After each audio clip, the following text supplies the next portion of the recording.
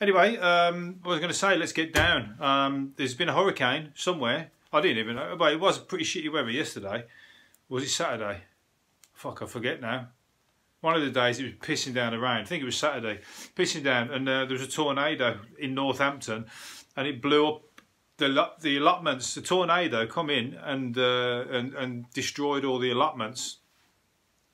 So I bet loads of vegetables all went up the tornado. So if anybody was uh, thinking, uh, there was like um, a, um, a religious moment when all carrots started falling out of the sky, raining carrots and uh, and melons and whatever else.